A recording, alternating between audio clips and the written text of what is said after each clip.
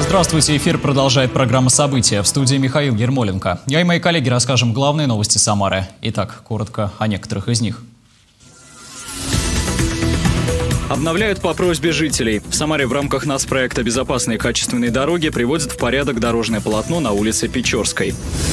Новое, современное и комфортное. В областном центре откроется второй вестибюль станции метро «Алабинская». Представить проект по выбранному направлению и побороться за лидерство. В столице региона готовится к конкурсу «Лучший муниципальный служащий». От лихачества до лиха рукой подать. Как полицейские наказывают тех, кто неправильно управляет средствами индивидуальной мобильности. Его голос слышали миллионы. Он звучал на памятных мероприятиях и парадах Победы. В Самаре презентовали книгу о легендарном артисте Геннадии Матюхине. Еще одной отремонтированной улицей в Самаре станет больше. По нацпроекту «Безопасные качественные дороги» привозят в порядок Печорскую. Однако немало помех создают припаркованные на обочинах автомобили. Проблему решают совместными усилиями районной и городской властей, Департамента городского хозяйства при участии территориальных общественных самоуправлений, управляющих микрорайонами и советов многоквартирных домов. Остальные подробности в нашем материале. От борта до борта проезжую часть по улице Печорской приводят в порядок по нацпроекту «Безопасные и качественные дороги». Работа организована от улицы Метерева до улицы Ивана Булкина. Этот участок пути протяженностью более одного километра 300 метров давно нуждался в обновлении. За помощью в решении этого вопроса местные жители обратились к властям города. Жители Самары поддержали. К тому же учли предписание ГИБДД, прокуратуры относительно состояния автодороги. Основная сложность организации работ на участке заключается в большой запаркованности обочин. В связи с этим приняли решение о необходимости усиления информирования местных жителей. Совместными усилиями городской и районной властей, Департамента городского хозяйства экологии, председателей ТОСов и Советов МКД, а также управляющих микрорайонами, припаркованные на обочинах автомобили, были убраны их владельцами. В частности, в ночь 30 на 31 мая был освобожден участок от улицы Авроры до четвертого проезда, и проведению ремонтных работ уже ничего не мешало. Как пешеход и как э, водитель дождались ремонта. Дорога была в ужасном состоянии. Ухабы были прям вот не детские, достаточно серьезные. И машины застревали здесь. Я даже не говорю того, что колодцы э, у нас открытые, вот без крышек. Это уже сейчас вот прям беда общая.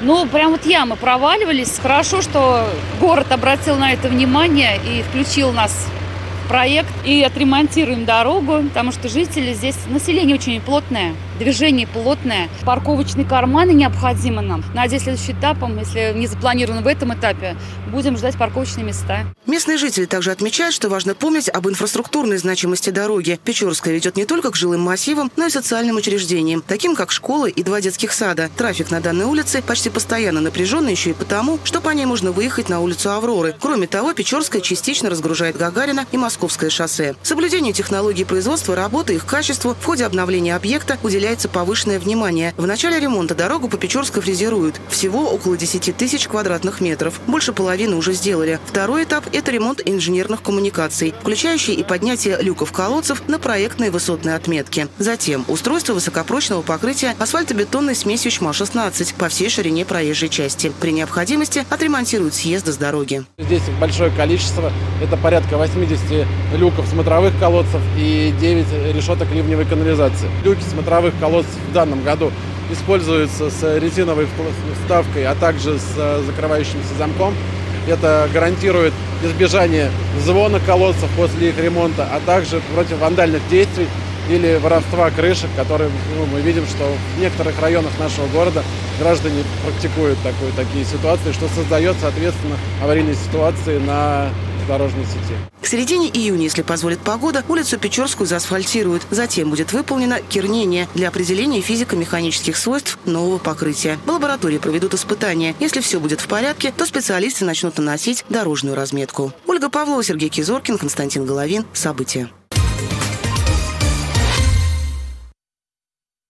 Хорошая новость для пассажиров метрополитена. В первый день лета в Самаре с 6 утра заработает вестибюль номер 2 станции метро Алабинская. Пространство и два схода к нему комплексно отремонтировали и модернизировали. Таким образом, пассажирам станут доступны все шесть сходов. Это обеспечит удобный подход к станции и повысит безопасность дорожного движения. Светлана Тимофеева продолжит.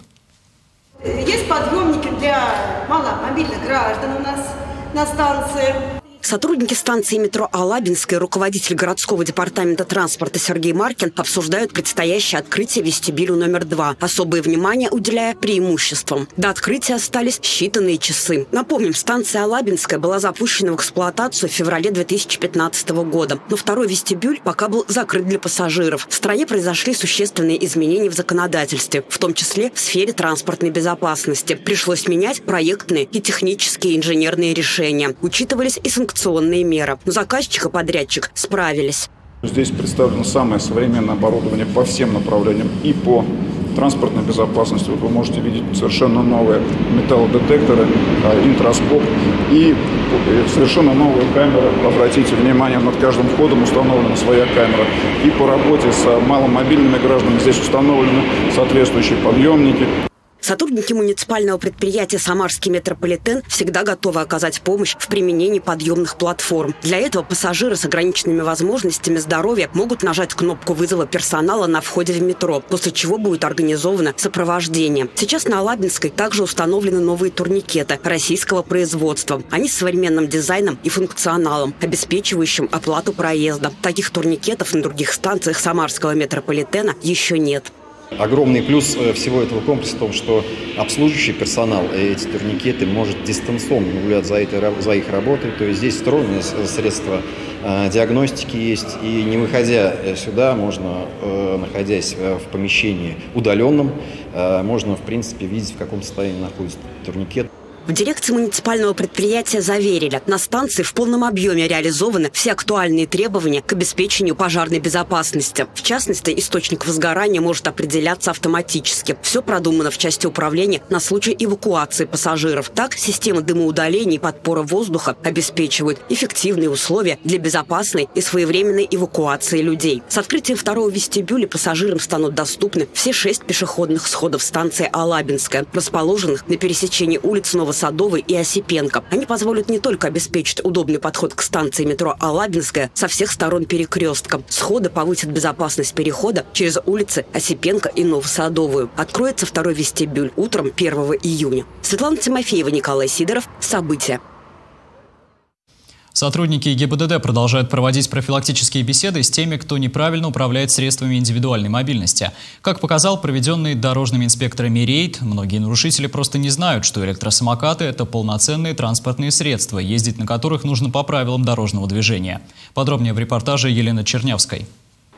Полдень, загородный парк Самара. Пешеходов в парке, как всегда, много, а между ними снуют в обе стороны велосипедисты, самокатчики, скейтбордисты. На двух колесах кого только нет. Курьеры с квадратными сумками за спиной, подростки, лихачи. У входа дежурит наряд ДПС, увидев который, одни предпочитают сразу свернуть, другие аккуратно спешиваются, третьи так и гонит на электросамокате по зебре. Последний мгновенно попадает в поле зрения инспекторов, потому что по правилам так делать нельзя. В настоящее время на территории города Самары э, зафиксировано несколько дорожно-транспортных происшествий с участием именно данной категории лиц, э, в которых участники получили различные степени тяжести. Поэтому данное мероприятие как раз вот и направлено на то, чтобы разъяснить лицам, управляющими средствами мобильности, определенный порядок и правила дорожного движения. За первый час рейда сотрудники полиции остановили как минимум пятерых самокатчиков-нарушителей. По правилам дорожного движения ехать на самокате можно со скоростью не более 25 км в час, а весить сам гаджет должен не больше 35 килограммов. Отметим, что все прокатные средства индивидуальной мобильности этим требованиям соответствуют. Вопрос только к технике, которая находится в личном пользовании. Антон приобрел самокат недавно, купил всю необходимую экипировку, передвигался по правой полосе дороги с разрешенной скоростью. Признается, что нарушать нарушать правила как минимум опасно для здоровья, а порой и для жизни. Очень важно э, соблюдать правила дорожного движения, которые вступили с 1 марта этого года. Э, это открывает новые возможности для данного вида транспорта. Э, для города в теплое время года это уникальная маневренность. Я водитель с 20-летним стажем. Но я могу сказать, что с момента приобретения самоката я за руль присаживался только один раз, когда мне нужно было перевести ну, какую-то габаритную историю. Для меня электросамокат сейчас является э, идеальным транспортным передвижением в городе. Чаще всего самокатчики проезжают пешеходный переход, не спешиваясь, катаются парами, иногда едут на красный. Именно к личным самокатам сейчас больше всего вопросов, сказали полицейские, подводя итог рейда. Именно они находятся в серой зоне. Что с ними делать – предмет дальнейшего обсуждения законодателей и экспертов. Елена Чернявская, Петр Паламеев. События.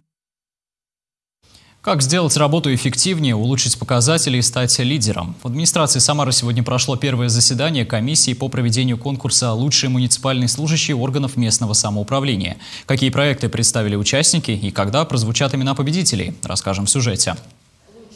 У них есть профессиональный опыт, желание двигаться дальше и делать свою работу эффективнее. В администрации Самары сегодня прошло первое заседание комиссии по проведению конкурса «Лучший муниципальный служащий органов местного самоуправления». А президент Российской Федерации э, Владимир Владимирович Путин поставил задачу повышения престижа государственной муниципальной службы, разработки процессов привлечения на муниципальную службу молодых, перспективных, высокопрофессиональных специалистов – и наш с вами конкурс как раз способствует решению поставленной задачи. За победу в номинации «Лучший руководитель» борются шесть претендентов. Еще три участника за звание «Лучший специалист». Они уже выдержали первые испытания, прошли тестирование и представили свои конкурсные работы. Вопросы э, были по пяти направлениям. Это конститут, знание Конституции Российской Федерации, законодательство о муниципальной службе о противодействии коррупции, русский язык и информационно-коммуникационные технологии. Среди претендентов на победу руководитель управления информации и аналитики администрации Самары Елена Рыжкова. Она рассказывает о том, как снизить негативное влияние отрицательных новостных поводов и довести до жителей актуальную информацию, чтобы предотвратить возникновение фейков. Если создается информационный вакуум, то люди начинают домысливать, наши э, оппоненты начинают придумывать какие-то версии, и, а, как правило, население, если получает вменяемый от власти развернутый, понятный, спокойный ответ, то тревога не возникает и социальная напряженность не возникает. Итоги конкурса объявят в понедельник на совещании в администрации города под руководством главы Самары Елены Лапушкиной. Виктория Шара и Николай Пифанов. События. Далее коротко о других темах этого дня. Жители России смогут чаще летать в Китай. С 31 мая крупнейший авиаперевозчик расширяет программу регулярных полетов в Пекин, Шанхай и Гуанчжоу. Со 2 июня частота рейсов в эти крупнейшие пункты КНР увеличится до 4 раз в неделю. На воздушной линии между Москвой и Пекином новый рейс появится по понедельникам. В Шанхай добавится дополнительный рейс по воскресеньям, в Гуанчжоу по пятницам. Таким образом, с учетом предыдущего расписания, рейсы в Пекин и Гуанчжоу будут выполняться по понедельникам, средам, пятницам и воскресеньям. Рейсы в Шанхай по вторникам, четвергам четвергам, субботам и воскресеньям. В Самарскую область прибудет ковчег с частью пояса Пресвятой Богородицы. Об этом сообщили в региональном правительстве. Пояс Пресвятой Богородицы – одна из величайших христианских святынь. По преданию, Богородица сама его сплела из верблюжьей шерсти. Святыня передавалась из поколения в поколение, а с XIV века находилась в Константинополе, заключенная в золотой ковчег с царской печатью. В X столетии пояс был разделен на части. Одна из них хранится на Афоне. В 2011 его привезли в Россию. Святыня посетила 14 городов, в том числе и Самару. В 2011 году частицу пояса передали на вечное хранение Казанский кафедральный собор Санкт-Петербурга. В Самарской области выявили более тысячи новых случаев сахарного диабета. Около 700 тысяч жителей Самарской области, взрослых и детей, проверили здоровье в рамках диспансеризации и профилактических медицинских осмотров. Благодаря этому люди смогли вовремя начать лечение. Многие хронические неинфекционные заболевания на ранних стадиях не беспокоят человека, но в то же время являются причиной сокращения продолжительности жизни. Это сердечно-сосудистые заболевания, злокачественные новообразования, болезни органов дыхания, сахарный диабет. Диспансеризация помогает диагностировать их на ранней стадии. Study. Стало известно, какие площадки появятся на Волга-фесте в этом году. Фестиваль пройдет с 13 по 18 июня на первой очереди набережной. По сообщению организаторов, его главной темой станет любовь и ее проявление. Как рассказал основатель и продюсер фестиваля Михаил Савченко, стартом подготовки стал конкурс пляжной архитектуры. На данный момент получено уже около 100 заявок. В жюри приглашены именитые эксперты в сферах архитектуры и искусства из Самары, Москвы, Казани и других городов. В результате были отобраны три проекта. В этом году на фестивале появится площадка под названием «Скажи да». Она будет представлена представлять собой свадебную арку в конце пляжа и станет главной фотозоной для влюбленных. По будням фестиваль будет работать с 16 часов, а 17 и 18 июня с 12 часов дня. 12 июня к Земле приблизится потенциально опасный астероид. Такая информация появилась в телеграм-канале Института прикладной математики имени Мстислава Келдыша. Снимок получен 18 мая 2023 года обсерваторией Кубанского государственного университета. Как отмечают ученые, астероид 488453 пройдет на расстоянии 3 миллиона километров. Это примерно в 8 раз превышает среднее расстояние до Луны.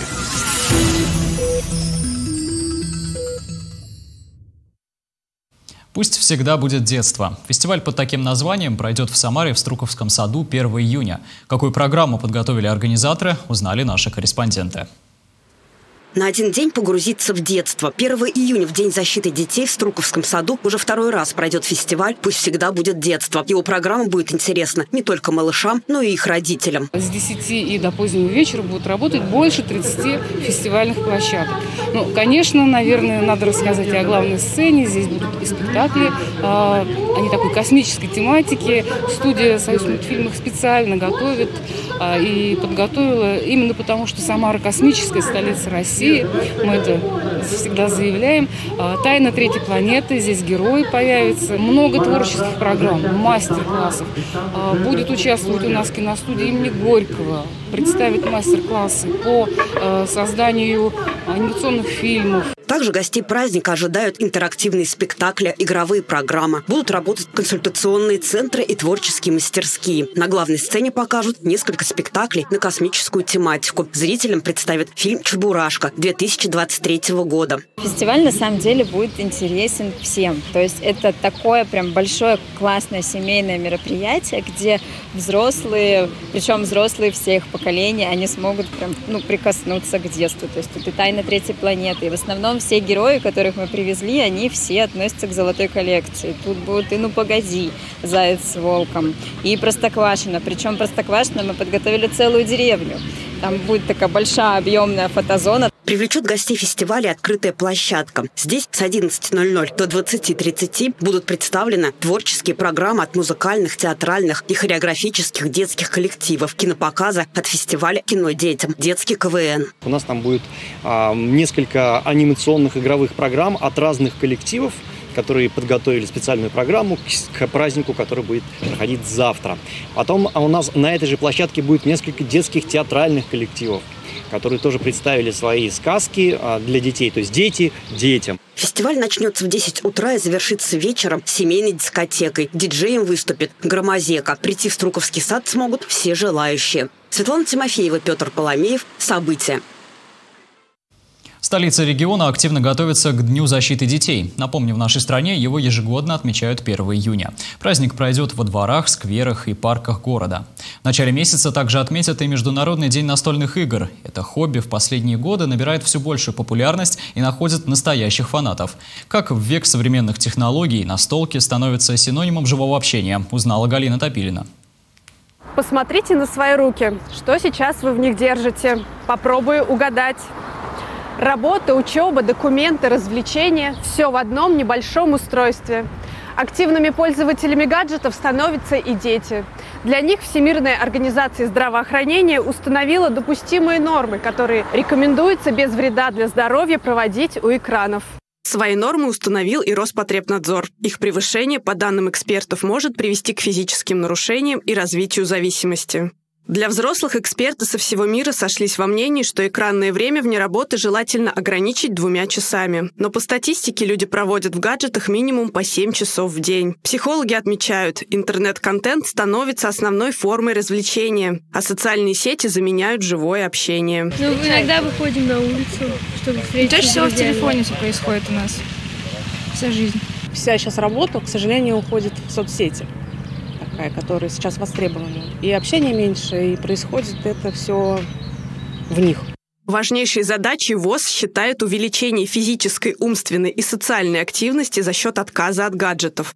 В современном мире настольная игра является прекрасной альтернативой гаджетам. Это способ живого общения, как семьи, друзей, коллектива, так и незнакомых людей, раскрывающий э, черты характера человека, а также его способности. Игра является некой закрытой средой, эм, в которой возможно контролировать то, что происходит на поле. И не так страшно принимать решения.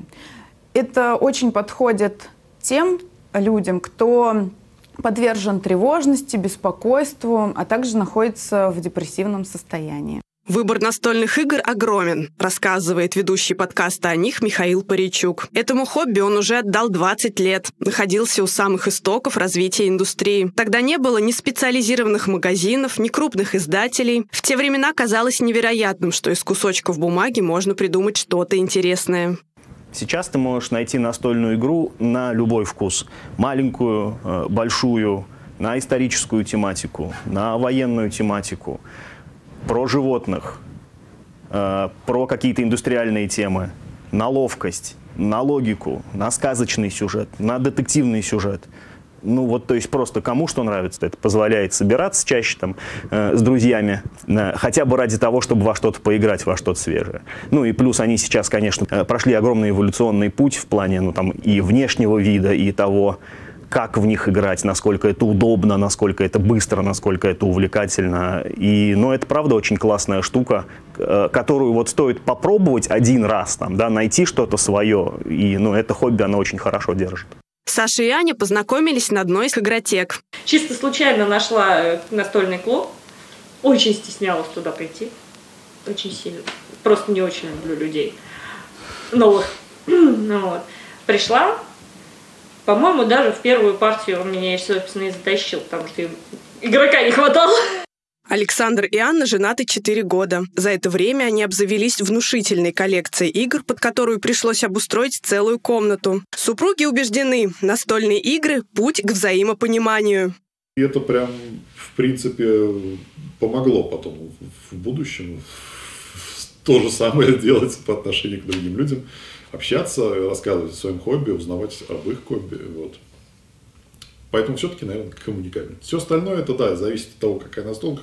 Терпение, добавляет Аня. Сохранить лицо, не переходить на личности и все раз приоставлять на игровом поле. Есть игры с дипломатией, где надо договариваться, а есть игры без дипломатии. И одно дело, когда жена мужу говорит, я тебя кормить не буду, а другое дело, когда перед тобой сидит человек, мало знакомый, и начинает тебя прессовать в игре. Не нравишься. Без дипломатии. Вот. И вот здесь вот терпение не бросить в него фигурку очень важно. Ученые Стокгольмского университета провели эксперимент, в ходе которого люди от 5 до 40 лет на протяжении трех месяцев регулярно играли в настольные игры. В результате когнитивные функции мозга у них улучшились на 30%. Настольные игры не просто развлечение. Они развивают качества, которые пригодятся и за пределами игрового поля. И, что немаловажно, помогают отвлечься от гаджетов. Галина Топилина, Петр Поломеев, Константин Головин, Николай Сидоров. События. Самарцам презентовали книгу об артисте Геннадии Матюхине. Церемония прошла во Дворце детского и юношеского творчества, где в последнее время работал мастер художественного слова. Помогла выходу книги «Дагестанская община». Артист активно продвигал творчество знаменитого поэта Расула Гамзатова. Подробнее в материале.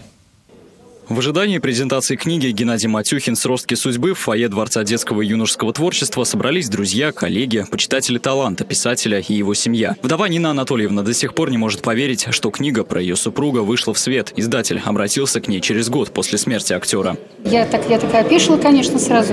Неожиданно так получилось предложение.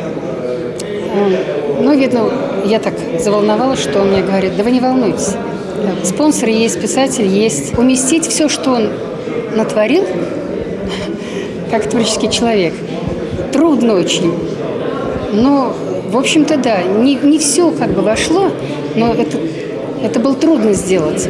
А так все, все в основном этапы пути освещены. На мой взгляд, да, очень удачно получилось. Автор книги Владимир Плотников признается, когда он сел писать историю судьбы самарского народного артиста Геннадия Матюхина, то оказалось, что полноценного архива про жизнь и творчество актера нет. Приходилось собирать образ выдающегося человека по крупицам. Хотя они были друзьями и вместе сняли несколько художественно-документальных фильмов. Он вообще был очень активный человек, который откликался на любую струнку творческую. То есть это, это был человек камертон, абсолютно в разных ипостасях. Он мог... Вот в книге-то я и постарался отразить Матюхина, который был известен каждому по-своему. Актер и режиссер Геннадий Матюхин в свое время возглавлял три драматических театра в губернии – Самарский, Тольяттинский и Сызранский. При этом он продолжал оставаться настоящим человеком, рассказывают его друзья и коллеги. Он был добрый, ищущий, любящий свою семью, любящий свое дело. И друг замечательный он был. Он мог позвонить, говорит, Михаил Александрович, ну как, конечно, встретимся, поговорим, обдумаем, сделаем. Многие горожане знают Геннадия Матюхина по его знаменитому голосу. Именно он звучал во время всех памятных мероприятий у горельефа «Матери Родине» на площади Славы. Он неоднократно вел парады на площади Куйбышева. В этой роли его называли «Куйбышевский левитан». Геннадий Матюхин окончил Куйбышевский институт культуры, потом начал там преподавать. Его ученик Александр Бригаднов говорит, что маэстро был для всех не просто учителем, а скорее другом, делился самым ценным в жизни. Он меня научил добиваться своих целей четко их ставить, вижу цель, не знаю препятствий и иду до конца. Он и сам так шел, на таран всегда. Много у нас с ним было историй, э, характер был такой непростой. Он ничего не боялся в жизни. И это очень важное умение. В жизни самарского актера с большой буквы было еще две любви. Долгие годы он возглавлял Самарский литературный центр Василия Шукшина и активно продвигал творчество знаменитого дагестанского поэта Расула Гамзатова. Друзья и поклонники в долгу не остались. Помогли выпустить книгу про Геннадия Матюхина. На этот вопрос можно ответить словами самого Расула Гамзатова. У него есть такие слова. «Без дружбы погиб бы мой малый народ. Великий лишь тем, что любовью живет». Нам верная дружба и песня о ней ценнее, чем воздух и хлеба нужней. Из 75 лет своей жизни Геннадий Матюхин более полувека отдал творческой деятельности. Последние годы занимался с молодежью во Дворце детского и юношеского творчества. Оригинальная презентация книги о нем прошла с их участием. мне, пожалуйста,